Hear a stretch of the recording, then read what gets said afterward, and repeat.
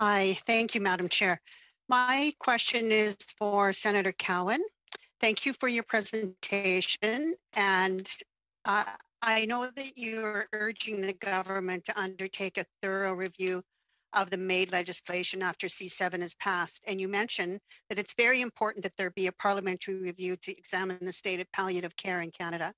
I want to briefly address this. Culturally appropriate palliative care is sorely lacking in Indigenous communities, particularly those on reserve. Palliative care that is culturally appropriate is a question of recognizing the rights of Indigenous peoples to be self determining in the context of their own health care and supporting their access to MAID. In this context, it's important for healthcare providers to work in conjunction with spiritual leaders and elders to deliver MAID in a way that is culturally safe.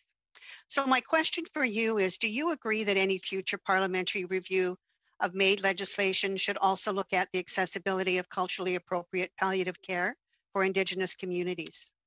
Yes, thank you, Senator. You've raised a very important point. C14 specifically mentions that the parliamentary review will not only consider those three subject areas with respect to MAID, but also the state of palliative care in Canada. So that's a very important part. It's not an either or situation.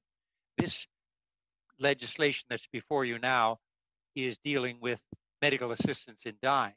Uh, obviously, there needs to be much more done uh, in all parts of the country to make sure that we have better palliative care and that it's more culturally sensitive and that it's more available and accessible.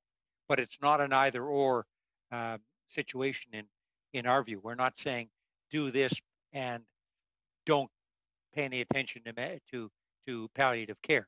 These are these are two different things. There certainly I agree with you that we need to do much more as a society with respect to palliative care, and that is provide that is specifically provided for in C14 that that must be part of the parliamentary review.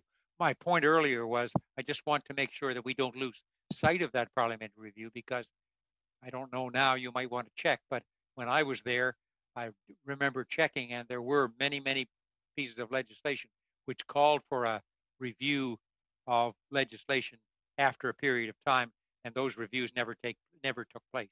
So I think it's very important that you insist, if I may say so, that this review follow and commence as quickly as possible after you deal with C7. Thank you, and include Indigenous people. Absolutely. Thank you. Thank you, Senator Boyer. Senator Keating. Merci beaucoup.